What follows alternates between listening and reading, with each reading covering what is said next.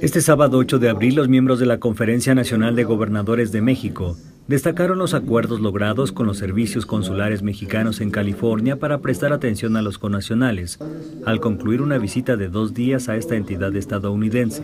Creo que aquí dimos un paso muy importante. La Conferencia Nacional de Gobernadores logramos generar un acuerdo con los servicios consulares que tiene el gobierno mexicano en el estado de California y también en la Unión Americana. Son 50 consulados. Se indicó también el logro de formular una sola estrategia para homologar la atención que se brinda en las 26 casas de migrantes de los diversos estados mexicanos que operan en Estados Unidos, las cuales se denominarán Casa México junto al nombre de la entidad a la que representan. Tenemos 26 casas eh, registradas pero lo más importante no solamente es número de casas, sino toda la plataforma que estamos generando virtual, las funciones app que hemos eh, colocado para poder atender a los migrantes y la eficacia que tengamos con el servicio consular en la defensa legal de los migrantes.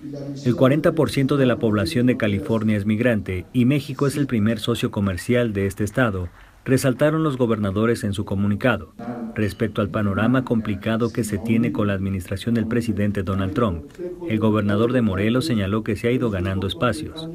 Es complicado, pero creo que hemos ido ganando. Mi experiencia de mi entrevista y mi relación con los gobernadores estadounidenses, con cuatro demócratas, eh, cuatro republicanos y dos demócratas que dirigen la Asociación Nacional de Gobernadores de Estados Unidos, fue muy positiva en Washington. Ellos están conscientes y están convencidos de que no puede seguir esta política de Trump, que el principal socio comercial para ellos es México o Canadá, Canadá o México indistintamente, y que la relación con México es prioritaria para ellos y que un muro es la peor de las maneras de tratar a México cuando ellos se han beneficiado también del trabajo de los migrantes.